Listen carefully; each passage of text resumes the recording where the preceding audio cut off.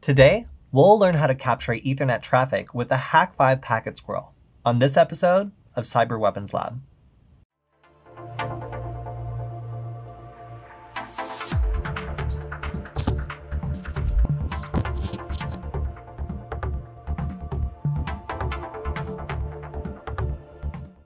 If you ever spotted an unintended Ethernet connection and wondered what you could do with all the information coursing through those wires, today we're going to go over the hack by packet squirrel.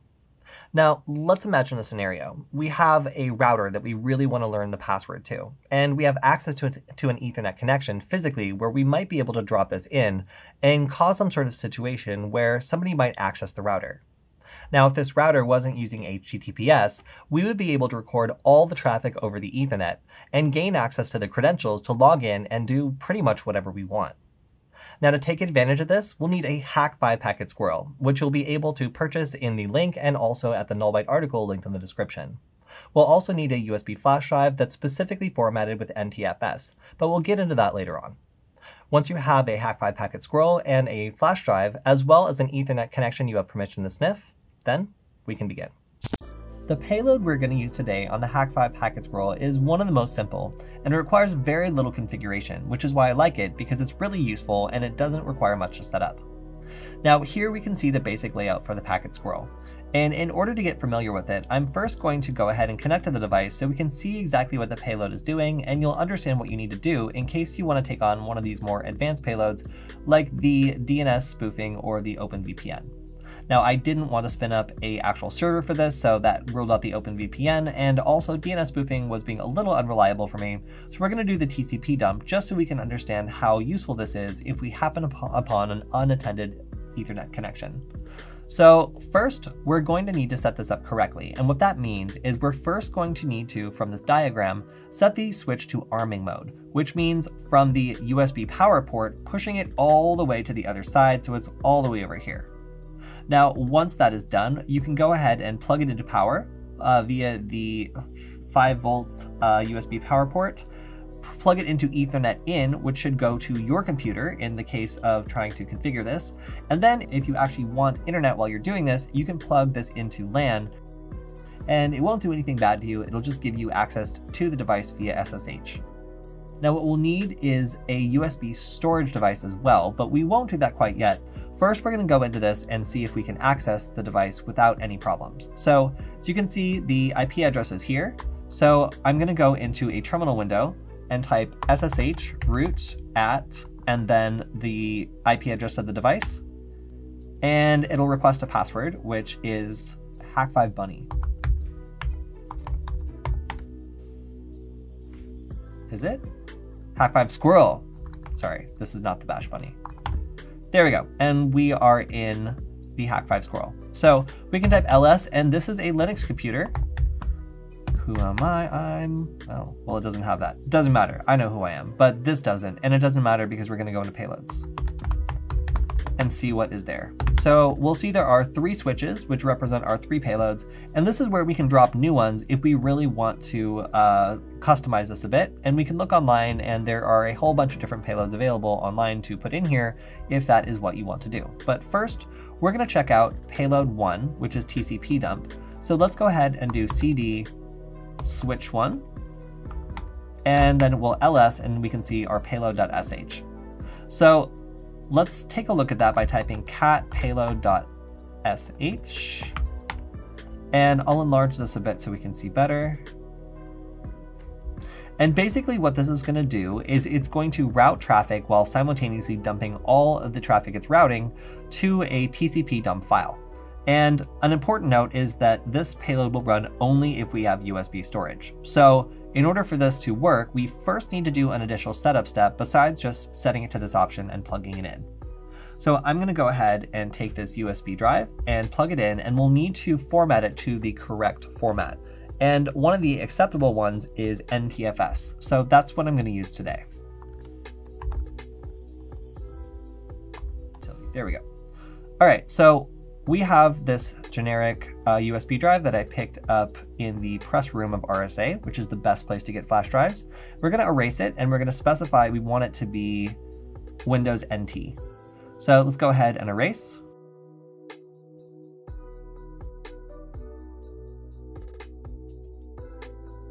Okay, and after what seems like a million years, we now have a Windows NT formatted flash drive.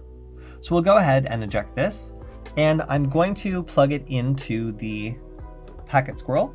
And the next step is to go back to our diagram here, and we're going to switch our payload select selection switch from arming mode, which is all the way to the side of the USB storage, all the way over to payload one, which is on the far other side and where right next to where our USB power is plugged in. So I'm gonna go ahead and switch that now. And we need to re, uh, basically reboot the device. So I'm going to unplug it and plug it back in. And now it should be ready for us to plug in line and start capturing on basically anyone who plugs into this Ethernet connection's internet activity. And we should be able to see all sorts of interesting stuff depending on what sorts of websites they're visiting and what services they're running. After we capture information using the Hack5 Packet Squirrel, we can go ahead and grab the USB thumb drive off of it and plug it into our computer to examine what we found. So let's go ahead and do that now. Now I'm gonna go ahead and go into the loot folder, open TCP dump, and you can see we have a number of things here. I'm going to pick, so let's go ahead and open up this 34 megabyte file in Wireshark and see exactly what we've managed to retrieve. Okay, so opening this up, the first thing I see immediately is we start getting host names of devices, and we can also see that some of this traffic isn't encrypted.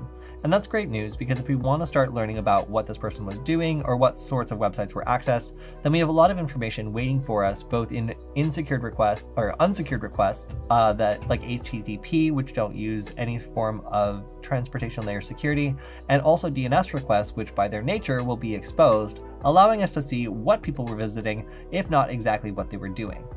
Now here I'll type in a DNS filter and this will allow us to see all the different DNS requests that went out. And if we click on any of these, we can then go into the domain name system response, uh, look at the queries, and we can start to see all sorts of both automated and maybe less automated queries that were sent out. So let's go ahead and see if we can identify some interesting websites. So we can see, uh, I saw something from Signal. So I also see a personal website. I can see YouTube. I can see Reddit, I can see a bunch of other information that allows me to know a little bit more about what this person is doing. So again, we can see both background applications like Adobe Creative Cloud and also things that might be a little bit more easy to understand like just browsing Reddit or looking at uh, looking at videos on YouTube. We also see that there's, I think, Dig, uh, Dig.com and a couple other things here that might allow us to infer what was happening even if we can't see the contents of these websites.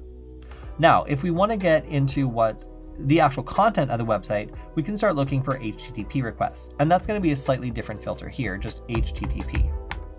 Now, here, if I scroll down all the way, I can see the source and the destination, and we can also start to follow these and see a little bit more about the exchange and maybe learn something about what was said. So if I right mouse click on this, then I can click on follow and then HTTP stream, and this will go ahead and track exactly what happened and usually show both sides of the conversation. In this case, it looks like there's only one side of the conversation, but we can close out of this. And let's try tracking this one. Mm, oops, no, no, we want to do HTTP. All right, let's say this one. Follow HTTP stream. Okay, so we have a uh, a series of HTTP interactions. We can see a little bit about the information that was, that was exchanged, the user agent. All this is useful information that tells us more about the person who is requesting it. For example, a micro, uh, Macintosh, uh, Intel Mac, we can see the version, we can see the WebKit, we can see the version of Chrome or Safari that was used. All this great and useful information for taking a look at targets that are perhaps using this. So if I go back, I can also do HTTP contains, and then I can pretty much do whatever string I want. So if I want to just keep it things to vistamiddle.org, I can do this flag, and we should only start to get things that are from this particular interaction. And if I double click, we can then see things that were exchanged, which is really useful for if you want to perhaps sniff for passwords if someone's accessing a router or doing anything that might reveal some more personal information. Now, here we can see that this is a subdomain of a very insecure middle school website. I'm not going to look any further, but suffice it to say, if someone were submitting passwords or any, any sort of other credentials to this website, we would be able to sniff them and see them here. Now I'm going to end this for now because we are coming up on getting a little bit more into a Wireshark tutorial, but this is a great way to both grab information from an ethernet connection and then parse it to discern what that person was doing, what kind of software they're running, and even what kind of hardware they're running based on the contents of HTTP requests and DNS requests. While the Hack by Packet Squirrel is an amazing tool for taking advantage of any unattended Ethernet connections, there are a couple limitations that you should be aware of. For one, when you plant this, you'll need to come back for the USB flash drive if you want to get the data. So if you only have access once, then this might not be the best tool to use. For another, this also won't be able to capture any traffic sent using a VPN or over SSL. So there will be some things you won't be able to see. However, HTTP requests and DNS requests are all up for grabs. If you want to pick one of these up, you can check out the links in the description and on the Nullbyte article, which is also a great place to go if you get confused and you need to do some troubleshooting. That's all we have for this episode of Cyber Weapons Lab. Make sure to like, comment, and subscribe. And if you have any ideas for upcoming episodes, send me a message on Twitter at Cody Kinsey, because I'd love to hear from you. We'll see you next time.